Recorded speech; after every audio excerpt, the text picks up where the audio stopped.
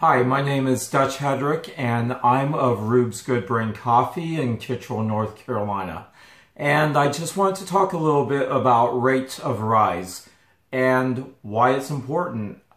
And I guess we'll start by uh, defining rate of rise by saying that it's the, according to Scott Rao, it's the progression of bean temperature per unit time during a roast. And let's just say uh, that's, well, it's in Fahrenheit or Celsius, depending on what you're roasting in.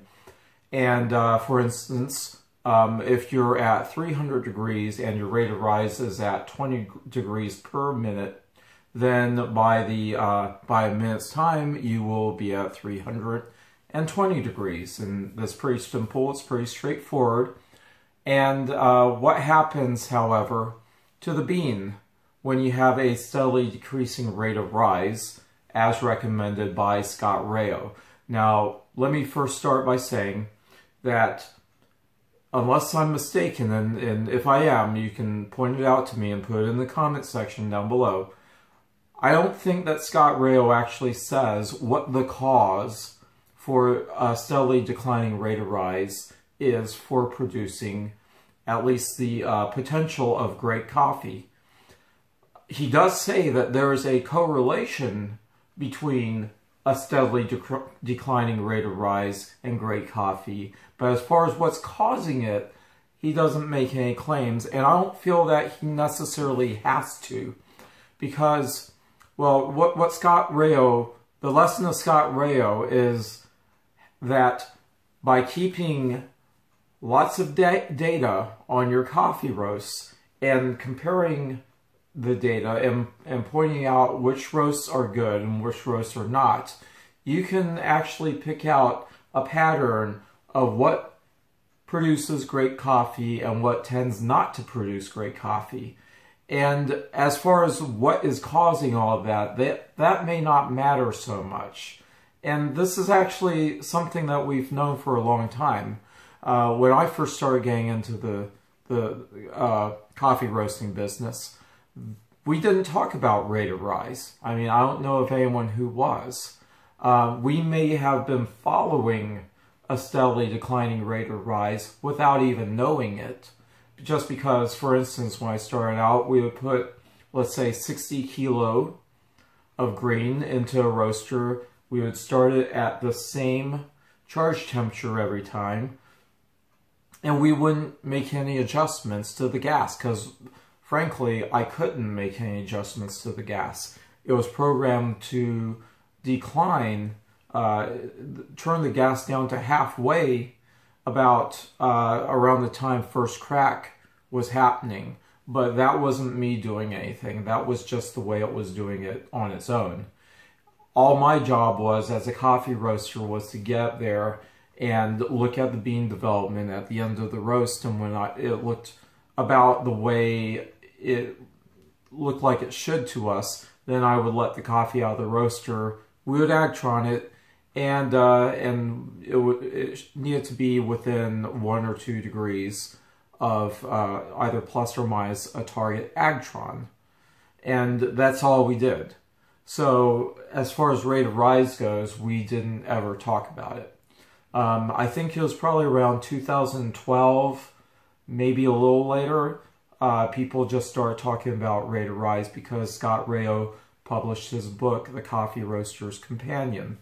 And uh, it was very, very eye-opening. Uh, it kind of, at least from my perspective, it kind of revolutionized the way we all thought about coffee roasting. And which is great because we're always looking for for some bit of information that could help simplify coffee roasting. Um, something that we're missing, a missing piece of the puzzle. Now, let me just say that it's great to understand the science behind roasting coffee. And the more we understand, the more control we have. But we don't need to wait until we understand the science perfectly to be able to roast great coffee. And uh, and uh, the way I think of it is, I, I think of astronomers, for instance, hundreds of years ago, who would look up at the stars and they would notice what they called retrograde motion, which was to their from their perspective, it looked like the outer planets would turn back on themselves and go backwards before turning back again and going in the uh, or their original direction. And they created complex models with uh, spheres within spheres to explain what this retrograde motion was. And what we what they didn't know back then was that the Earth was not in the center of the solar system, and it was actually at the third planet of the Sun. And what they were seeing was uh, the the difference between uh, the when, whenever we would pass them in in our orbits. I don't want to get too far into it, but here's what the, my point is. They didn't understand the planets enough to exactly explain accurately what was going on with the planets, but they didn't need to for their purposes, uh, which was essentially to predict where the planets were going to be at a given time. So, yeah, it's great to understand what's going on in the coffee, and the more we understand, the more the more control we have when we roast coffee. However, we just need to know enough to be able to predict great coffee. Now, you have your all your data points, right?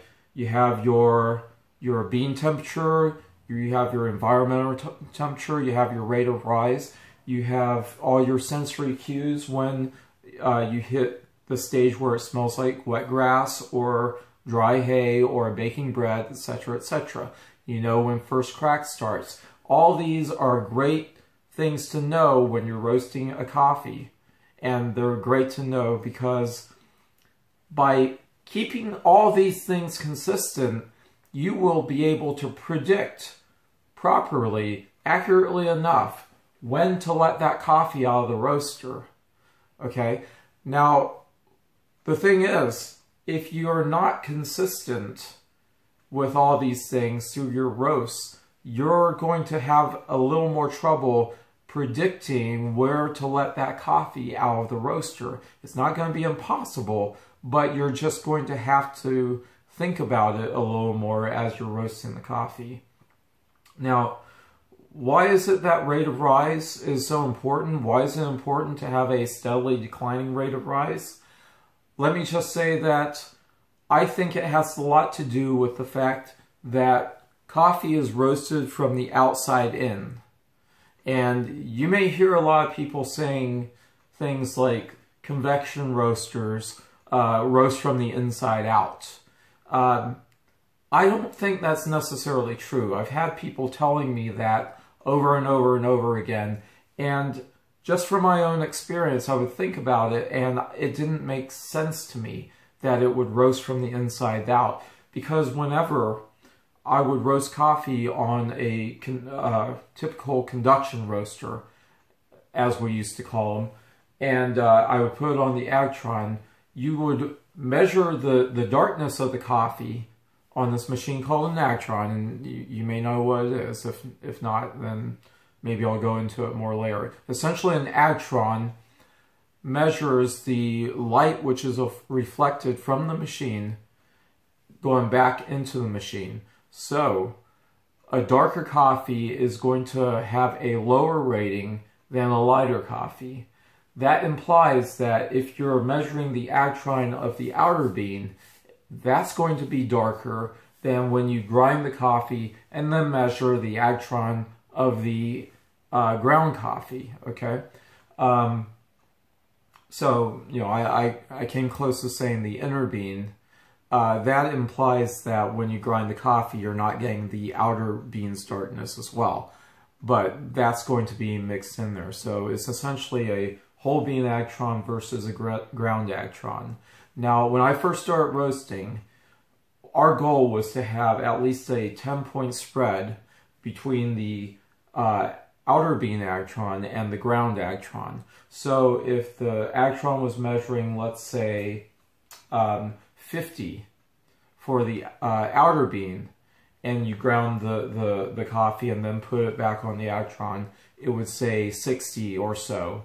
Um, if it was any smaller, then it would be indi indicative of a coffee that was uh, a, a, bit flatter. Okay, um, I hope I, am I'm, I'm explaining this well enough. Now, um, the thing is, when when we start roasting on uh, recirculating uh, roasters, roasters which recirculate the air, I was told that the the uh, these roasters, these convection roasters, um, and that's a bit of a misnomer too, uh, tended to roast from the inside out. Um, like I said, I don't think that's necessarily true. Now they say that the the beans, uh, the the the air penetrates the beans on these convection roasters, and and that's why they roast from the inside out. But it still doesn't make sense to me, um, especially due to the fact that I do know that when roasts on these uh, these recirculating air roasters, um, such as a Loring, when they're measured on an Agtron, they're still darker on the inside, on the outside than they are on the inside. For instance, um, I looked up some old roasts that we had done where I used to work, so I know that was these were done on a Loring. And on one, it said 54 degrees uh, whole bean Agtron, ground Agtron 74. Okay. Um, on another, it said 59, uh, an Agtron 59 on the whole bean, 79 on the ground Agtron. So in each case, there's about a 20 point differential between the whole bean Agtron and the inner bean Agtron. Now, here's what I think. Why is it that we need a decreasing rate of rise? Why is that important? Well, let, let me just say that one, once you've developed a portion of the bean, you can't go back on it. You can't unroast the bean. And so if the bean is roasting from the outside in, if you scorch the outside portion of the bean, you're not going to do anything more as that roast progresses but burn that part of the bean more. So it may be raw on the inside, but on the outside it's already scorched. So you can't undo that damage. So um, let me let me continue by saying that if you have a rate of rise of let's say 20 degrees Fahrenheit per minute, now you want to evenly roast the bean from the outside in. Now if you put on the gas a bit more and uh, you actually burn the outside of the bean a bit more than you wanted. Like I said, it's just the same as if you dropped it into a hot roaster and scorched the outer part of the bean. Um, you cannot unroast what you've already roasted. So, what that means is if you want to consistently know where you are in the roast, you need to consistently have a rate of rise that is consistently falling. Therefore, from roast to roast, you know that the outer portion of that bean isn't going to be more roasted by, by the time you get to the end of that roast than by the time you get to the end of any other roast. You see what I'm saying? Uh, if, if, I guess if you need clarification, just ask questions and I'll, I'll try to answer them the best I can. Now, here's another thing. One thing I've noticed is that the faster the roast is, the more of a differential there is between the outer part of the bean and the ground Agtron. So what I've noticed is that at a certain point, these huge differentials might actually have uh, coffee that tastes under roasted. It may look roasted on the outer part of the bean, but if you have not taken the time to sufficiently develop the inner part of the bean, it's going to have a harsh acidity. You haven't developed your sugars uh, adequately enough. So at that Maillard uh, phase, you're going to want to not blow through it too quickly, but you want to gently go through it, not too fast, not too slow. We're looking for balance here. We're looking for balance and we're looking for consistency from roast to roast. Okay. Um, now, uh, I guess that's about all I have to say at this point. Um, these are all issues which can be a little, a little complicated. And like I said before, the, the more you try to simplify roasting, uh, the more difficult it can be. So I, I'm not going to come out and have a rule, for instance, that in order to have a great roast, you need to have a spread in your Agtron rate, ratings that's about 10, 10 points or 12 points.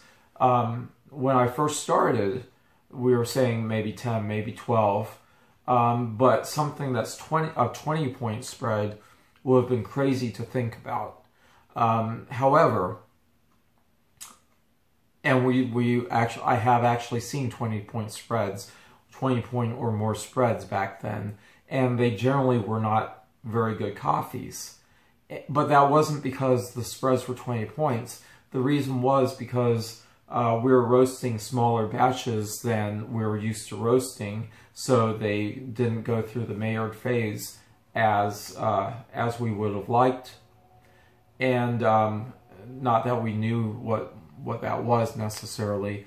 And so it was a huge spread. The roast was too fast, and uh, the differential was too big for that uh, for that reading. Um, a lot of this had to do with some some of our clients would insist that they want the outer bean to look a certain way. And their idea of consistency was the outer bean looked the same way every time. However, they would order coffees that were just for them, and they would ask for different size roasts. So um, a lot of times that just messed up the consistency and uh, and and just kind of messed everything up. But they didn't really care because they were looking for uh, consistency of how it looked, not how it tastes. And uh, as coffee roasters, obviously we should be looking for more consistency in how our roast taste from roast to roast, not how they look. So um, I don't want to ramble too much about this. So uh, I guess um, I could be a little more focused by hearing what you guys have to say, asking questions, and and therefore I can respond a little more uh, a little more succinctly. So anyway, be sure to like and share and subscribe, do all those things uh, because this actually helps um, the communication, uh, me communicate with as many people out there. Um, and like I said, the the um, the goal is to get a good conversation started between all of us. So, um, in the meantime, happy roasting, happy sipping. sorry, happy roasting happy brewing and happy sipping. It's a very late night at this point, so you probably hear it in my voice. Thanks for bearing with me. Thank you for your time and good night.